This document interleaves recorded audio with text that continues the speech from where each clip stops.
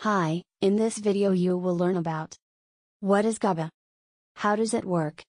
6 benefits of GABA. Recommended dose. Best time to take. For how long? Side effects. And where to get it. GABA is a neurotransmitter that supports a wide range of functions in the brain.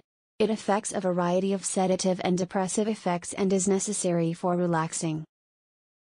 GABA works by binding to GABA receptors to provide a variety of effects.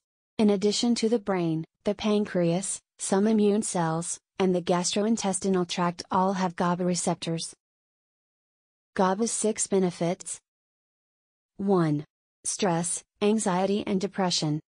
GABA reduces a nerve cell's ability to receive, create, or send chemical messages to other nerve cells. GABA is known to have a calming effect, it is thought to play a significant role in anxiety, stress, and fear management. 2. Sleep quality. GABA allows the body and mind to relax and fall asleep, as well as sleep soundly all night. Low GABA activity has been linked to insomnia and sleep disruption. 3. Focus and memory. GABA slows down the pace at which neurons fire, limiting overstimulation, which is thought to be critical for memory and concentration. 4. High blood pressure. GABA supplements have been shown to lower high blood pressure. Quality sleep can be maintained by maintaining proper blood pressure. 5. Weight loss. Because of its support of glucose metabolism, GABA is actually considered to have anti obesity effects, making it a useful tool in your fat loss arsenal. 6. Muscle mass. GABA helps with the production of human growth hormone, linked to an increase in lean muscle mass. GABA recommended dose. The recommended daily dosage of GABA is 100 to 750 mg for a relaxation or calming effect. Best time to take GABA.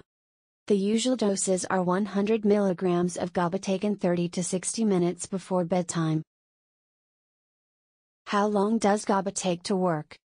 People saw a significant increase in alpha waves just one hour after taking GABA, which caused feelings of calm and relaxation.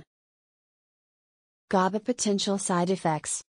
GABA may reduce blood pressure, which may result in hypotension, low blood pressure.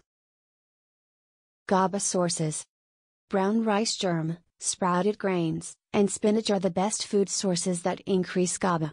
It's also found in green, black and oolong tea. Have you tried GABA before? Please comment on your experience below. Thanks for watching. We hope you gained some useful knowledge. Please give us a like and subscribe for more health improving tips.